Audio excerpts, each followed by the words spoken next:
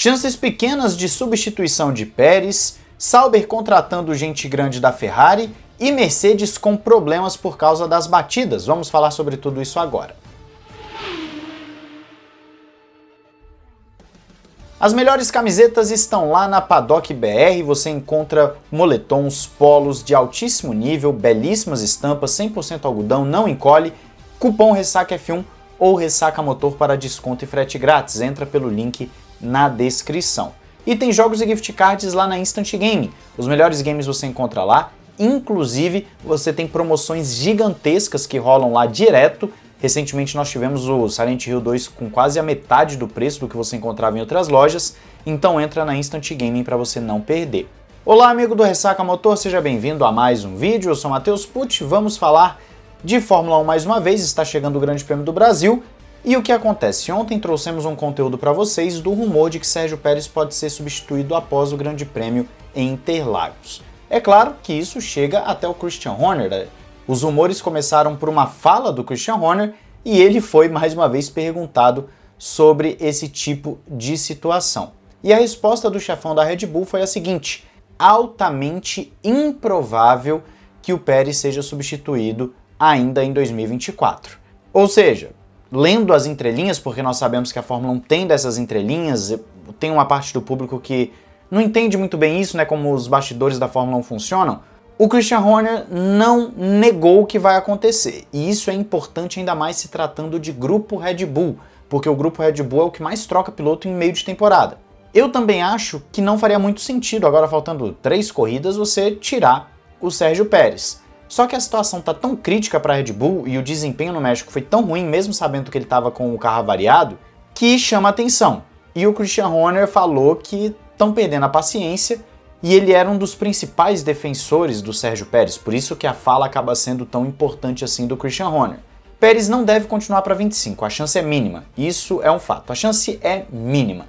Só que o que nós temos agora é basicamente uma possibilidade de saída ainda em 2024, o que seria estranho e eu, Matheus, acho que também é altamente improvável.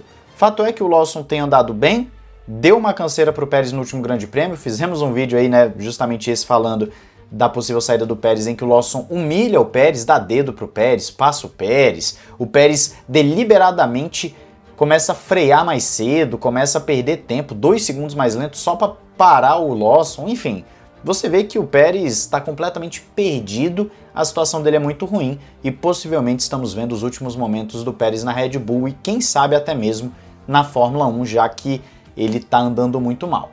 Eu quero saber a sua opinião aí nos comentários, o que você acha que deveria ser feito com o Sérgio Pérez em 24 ou 25. Passando agora para a Sauber, Sauber Audi no caso. Fizeram mais uma contratação grande, foi anunciado basicamente, você vê aí as várias fontes falando sobre o assunto, e as fontes sempre ficam na descrição para você, que o Iñaki Rueda ex-diretor esportivo da Ferrari, está chegando para a equipe. A gente já tinha falado do Rueda lá atrás no início do ano, que ele estaria saindo da Ferrari e tal, mas havia ainda uma dúvida de qual equipe ele iria trabalhar ou se permaneceria na Fórmula 1. Bom, agora está explicado. A Sauber está contratando o Rueda. O projeto Audi para 2026 segue a todo vapor, por mais que os rumores sejam de um atraso considerável no projeto. Ainda assim, a contratação do Rueda é importante e você tem o Binotto que trabalhou com o Rueda à frente do projeto Audi. Isso também é muito importante você ver que há um motivo do Rueda estar indo para esse projeto Sauber Audi, porque você já tem a parceria sendo refeita com o Binotto. Binotto que até deu uma declaração recentemente falando que não trocaria o Sainz pelo Hamilton, mas enfim, aí é uma outra história, a gente fala sobre isso num outro momento. Interessante, estão investindo, estão colocando dinheiro, tô animado pro projeto Audi, mas tenho ciência de que nesse primeiro regulamento que eles vão entrar, dificilmente vão conseguir resultados expressivos, ainda mais com a estrutura e com os rumores que estão saindo recentemente. Mas vamos ver, né? Quero saber a sua expectativa pro projeto Sauber Audi. Vamos agora para a principal notícia e vamos falar de Mercedes e os problemas por causa das batidas. O George Russell bateu em dois grandes prêmios seguidos, né? dois finais de semana seguidos, batidas fortes que dão um prejuízo considerável para a equipe, e ele falou, se defendendo, que o problema não é que ele estava levando o carro ao seu limite. mas sim que o carro está simplesmente imprevisível. As atualizações deixaram o carro de uma forma nervosa que ele não estava esperando. E o Hamilton também tem reclamado dos upgrades, tanto é que no Brasil pode até ser que o Hamilton volte algumas peças para o spec anterior. Então George Russell já começou a se defender falando que o problema é o carro e o Toto Wolff também foi por esse lado. O Toto Wolff defendeu o seu piloto falando que o problema tem sido mesmo o carro da Mercedes. Ele falou isso já na batida do Hamilton, falou posteriormente também, batida não, né, quando o Hamilton escapa ali da pista. Depois ele falou sobre isso no quesito do George Russell, que o carro simplesmente não tem performado e não tem sido tão previsível quanto o esperado pela equipe. E aí a Mercedes está tentando achar onde é que está o problema, como é que está rolando essa diferença do túnel de vento para a pista, que é um problema que a Mercedes vem tendo durante todo o regulamento do efeito solo. E aí, no momento que você acha que eles deram um passo para frente, eles dão dois para trás. Então a Mercedes tem sido assim, inclusive nesse ano chegou um momento ali que em quatro provas eles venceram três e depois sumiram de novo. Só que não para por aí.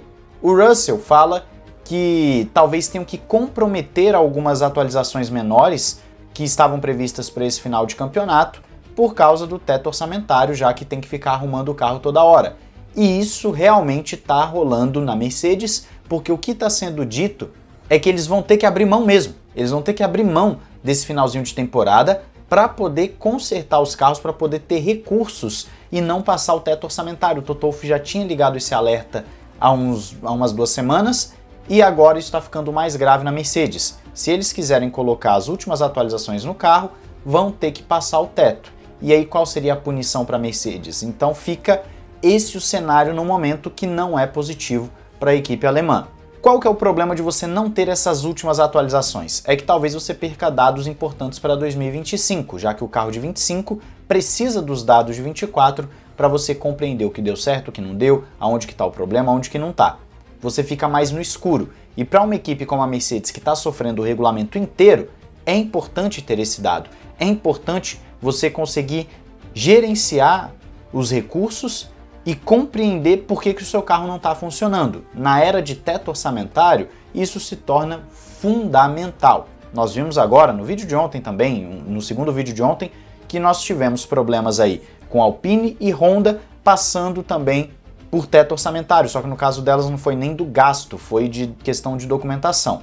No caso da Mercedes seria mais parecido com o da Red Bull, em que passou o teto orçamentário e aí sofreu a punição por ter passado ali, se eu não me engano, 400, 500 mil dólares com o abatimento dos impostos, né? Sem o abatimento dava uns 2 milhões e com o abatimento dava uns 400, 500, eu já não lembro de cabeça.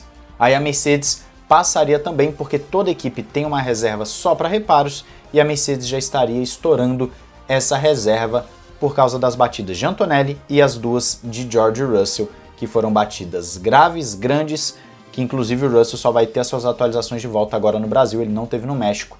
Então você vê o tamanho do problema que a Mercedes está. Vamos esperar para ver. Quero saber a sua opinião sobre os problemas da Mercedes aí nos comentários. Não esqueça de se inscrever ativar o sininho para não perder nada, se inscrever no Ressaca Express. Um grande abraço, valeu e falou!